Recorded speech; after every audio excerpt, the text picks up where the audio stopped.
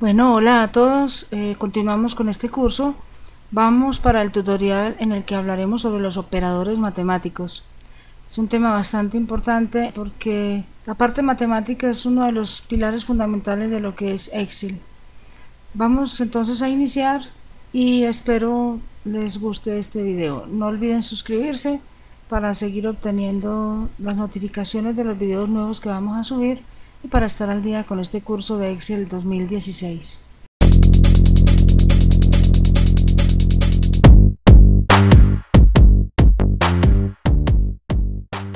Bueno, vamos a mirar lo concerniente a los operadores matemáticos. Excel nos permite hacer cálculos matemáticos de igual forma que lo haríamos en una calculadora, en su forma más básica. Eh, obviamente, pues que en la herramienta de Excel podemos acceder a tipo de fórmulas mucho más complejas, pero el capítulo hoy, el episodio de hoy, está orientado solamente a mirar esos operadores básicos. Para ello, entonces, tengo esta tablita donde estamos indicando eh, la suma, el signo está representado por el mismo símbolo más, aquí está uno de los ejemplos, el símbolo menos, eh, nos representa lo que sería la resta, pero también lo utilizamos para lo que es la negación. El asterisco nos representaría la multiplicación, o lo utilizaríamos para la multiplicación. La barra oblicua nos representaría la división. Y el signo de porcentaje que nos eh, que se estaría representando por el mismo signo que habitualmente conocemos, el acento circunflejo, que es este sombrerito que aparece aquí arriba, nos representaría la exponenciación. ¿Cómo accedemos a este a este tipo de símbolos? Sobre todo eh, cuando se refiere al asterisco, al, símbolo de la barra oblicua, porcentaje o el acento circunflejo. Si usted está en una hoja de Excel o en una hoja de Word, cualquiera de los dos, en el teclado, en el teclado numérico aparecería, lo que es el símbolo eh, representado por el asterisco. Voy a aumentarle un poco acá el tamaño para que se vea mejor. Eh, simplemente dando clic sobre el carácter que aparece en el teclado numérico. Pero si no tenemos un teclado numérico diferenciado, sino que aparece dentro del teclado alfanumérico, normalmente está en una tecla que es acompañada de otro símbolo como es el más. Si yo presiono esa tecla de forma eh, natural me aparecería el signo más, pero si lo que quiero es el símbolo asterisco, presiono la tecla Shift y al tiempo la misma tecla donde he encontrado los caracteres que ya mencioné antes. De esta forma accedería al asterisco. Para acceder a la barra oblicua, normalmente está acompañada con el número 7. Entonces, eh, si oprimo la tecla de forma normal, pero me aparecería el 7. Si presiono la tecla Shift, me aparecería la barra oblicua. El signo de porcentaje está acompañado de la tecla 5. Entonces, si presiono la tecla 5 aparecería de esta forma, si presiono la tecla Shift me devolvería el signo de porcentaje. Y por último, el acento circunflejo. El acento circunflejo eh, normalmente en los teclados aparece al lado de la P acompañado por un corchete. Mm, ese acento, si yo presiono la tecla solita, me aparece, eh, me aparece este símbolo. Si presiono la tecla Shift, me devuelve el acento circunflejo. con la tecla Shift sobre la tecla donde la encontremos acompañada me devuelve el acento circunflejo. Ese acento circunflejo también lo conseguimos con la tecla AL 94 dentro de lo que sería el código ASCII o sería el código de caracteres presionando la tecla AL más el número 94 me, da, me devuelve el acento circunflejo o lo que llamaríamos exponenciación. Esas serían entonces las formas como accedo a estos caracteres. Bueno, este tipo de operadores matemáticos mm, nos sirve entonces para realizar o calcular una operación básica. Los operadores matemáticos manejan un orden o una jerarquía que está establecida en esta parte. Si yo tengo una fórmula donde se impliquen varias de estas operaciones, exponenciación, raíz cuadrada, eh, multiplicación, mm, división, suma, resta. Voy a aumentarle acá un poco el tamaño para que lo podamos distinguir con mayor claridad. creo que así está muy bien muy bien entonces si yo tengo operaciones como estas eh, normalmente acudiría primero a hacer lo que corresponde a la exponenciación en segundo plano lo que es la multiplicación la división en tercer plano suma y resta si aparece dentro de ellos la raíz, la raíz se, ubicaría en esta posición. Después de realizar la exponenciación, aplicaría lo que es raíz o raíz cuadrada y luego seguiría en este mismo orden. Vamos a mirar un ejemplo acá. Si yo tengo eh, 2 más 3 por 2 y yo miro la fórmula mm, de manera secuencial, yo diría que 2 más 3 es 5 y 5 por 2 me daría 10. Quiere decir que esta sería la respuesta que yo consideraría correcta para este enunciado. Sin embargo, Excel, cuando usted aplica esta fórmula, Excel me devuelve es este valor de 8. ¿Por qué me devuelve el valor de 8? Entonces vamos a mirar.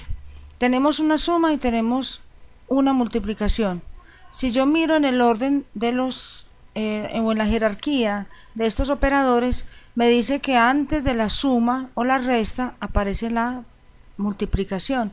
Quiere decir que Excel primero multiplicaría, en este caso 3 por 2, 6, más 2 sería 8. Por eso nos devuelve este resultado. ¿Qué ocurre? Si yo quiero cambiar ese orden, yo quiero que me dé el orden como lo tengo establecido aquí arriba, como yo lo pensé al momento de escribir la fórmula. Para ello utilizo los paréntesis. ¿Qué hacen los paréntesis? Los paréntesis me dan una jerarquía el paréntesis me está diciendo que primero se va a realizar lo que esté dentro de él y luego continúa con las demás operaciones. Vamos a mostrarles de qué manera. Si yo igual le doy 2 más 3, como está expuesto allí, por 2, al dar enter, él me va a devolver el mismo número 8. Pero queremos hacer el cambio. Entonces, para ello, quiero entonces que primero me haga esta operación. Voy a incluir entonces el paréntesis al inicio, cierro paréntesis en el punto donde quiero que se ejecute primero la operación. Quiero que primero sume 2 más 3 y luego ese resultado me lo multiplique por 2. Cuando doy Enter, observen que ahora sí me aparece el resultado que había planteado desde el momento en que inicié con la fórmula. Esta es la funcionalidad de los paréntesis, crear una prioridad en la elaboración o en el procedimiento de las, de las operaciones matemáticas.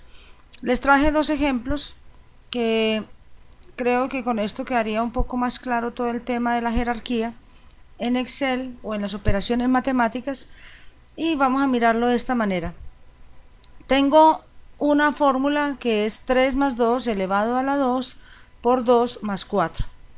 Primero exponenciación, recuérdenlo, luego raíz, luego multiplicación, división, suma y resta. Eh, tengo aquí el orden de una operación que dice 3 más 2 elevado a la 2 multiplicado por 2 y sumado a 4. Si yo fuese a realizar la operación en el orden en que aparecen los establecidos los números y los símbolos, me quedaría entonces que 3 más 2 sería 5 y continuando acá sería elevado a la 2 multiplicado por 2 y sumado a 4.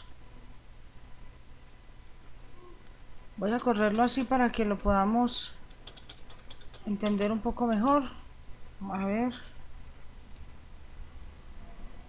Y este sería acá. Vamos a ubicarlo acá. Yo creo que así queda un poco más claro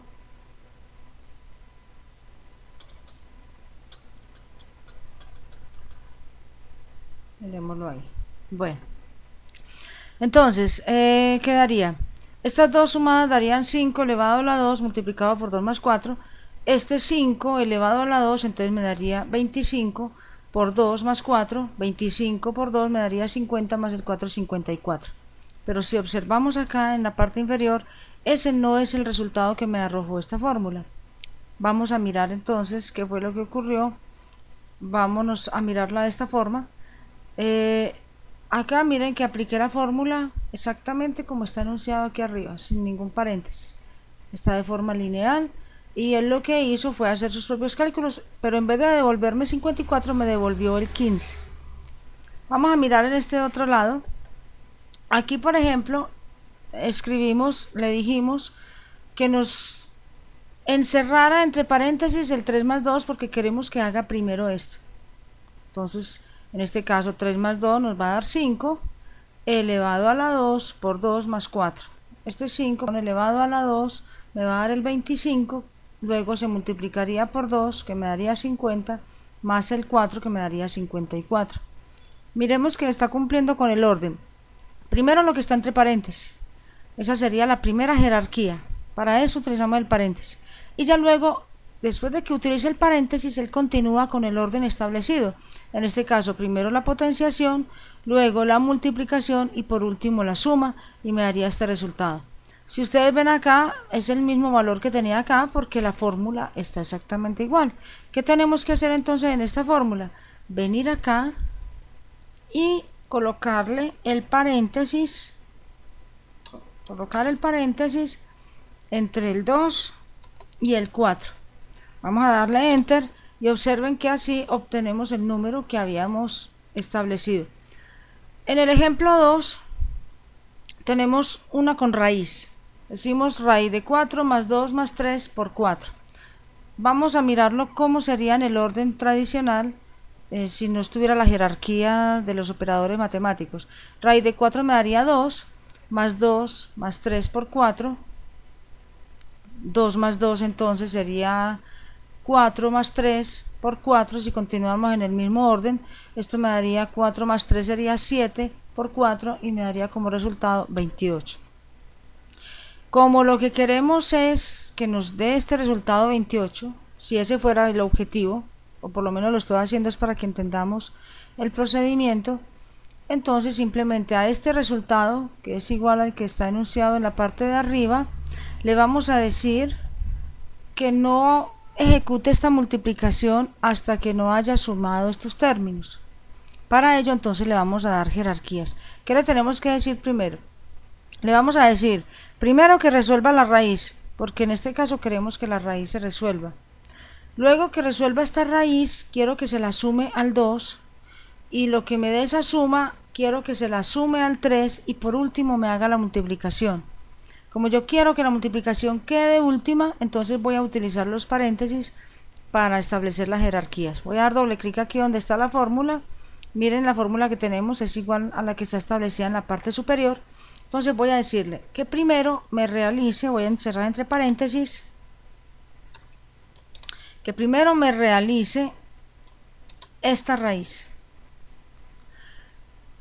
Como estoy utilizando más paréntesis, él me va adoptando diferentes colores para indicar dónde abre un paréntesis y dónde termina el otro. En este caso, este paréntesis negro cierra acá.